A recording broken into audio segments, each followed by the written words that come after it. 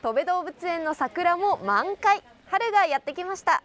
野生のクマは目覚める頃。今日はクマ尽くしでお届けします。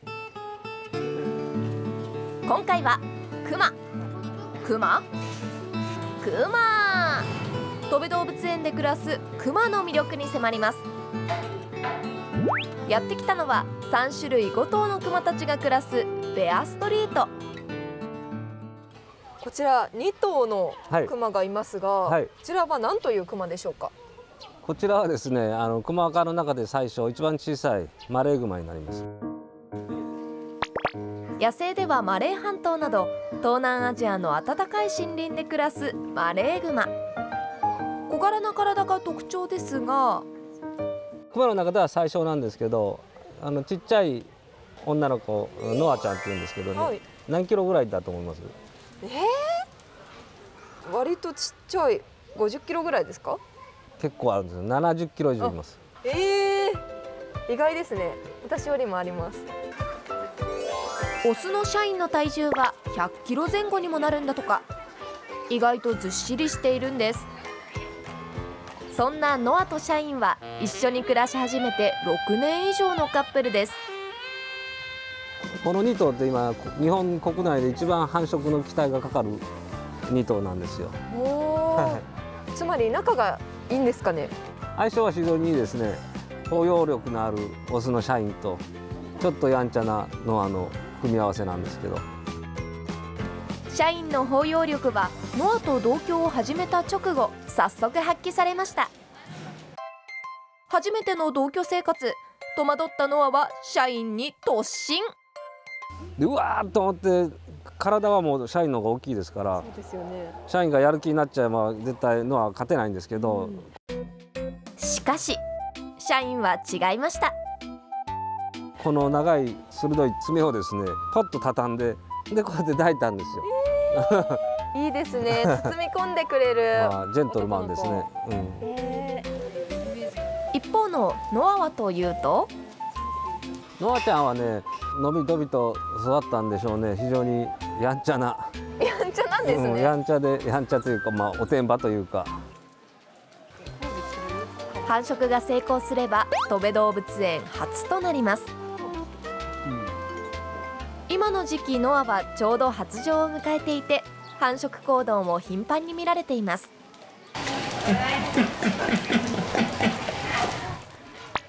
この声はメスのノアの発情期に頻繁に聞こえてくるオスのシャインの鳴き声。マレーグマの赤ちゃんが誕生する日も近いかも。続いてのクマは首の周りがモフモフで可愛いヒマラヤグマのハチです。雪山など寒い地域に生息するヒマラヤグマ。野生のヒマラヤグマは餌が不足する冬は冬眠しますが動物園では餌があるため冬眠はしません。暖かくなってきた最近の様子は？まあ、よく動くようにもなってますしね。ただ朝出てきたらあのプールの横で日曜日のお父さんかっていうぐらいな感じで 足伸ばして寝てますけど。見事なくつろぎっぷりに癒されてください。最後はお隣北極熊。最近のピースはというと？最近ねあ見ておる通りちょっと頭の方に毛が薄くなってるでしょ。プールで活発に元気に遊ぶのでプールの壁とかで頭すっちゃって薄くなっちゃってるんです寒い冬でもプール好きは変わらず特に今年の冬は頻繁に入っていたそうおザブンと今入りました。ちょっとまだ人間には肌寒いですけど、なんで寒くないのかなと思います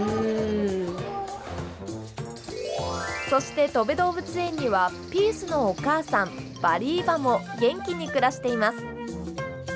御年31歳。国内最高齢です。さてこのベアストリート実はある法則に倣って部屋が配置されているんです。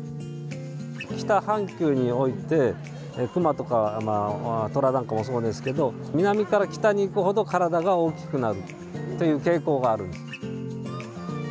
熊社は南北に沿って建てられていて一番南のマレーグマから北の北極熊という並びになっています生息地と熊の大きさも勉強できるってことなんですね。そうですね。楽しみながら何かを学んで持って帰っていただくっていうところに動物園は力を入れているところです。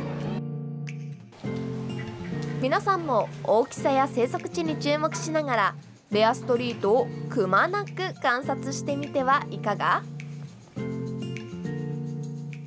くまなくご紹介しましたけれどもやっぱりほっこりしますね。ねそれぞれに個性があって、あの相性バッチリカップルの赤ちゃん、うん。期待したいですね。本当元気をもらえる映像ご覧いただきました、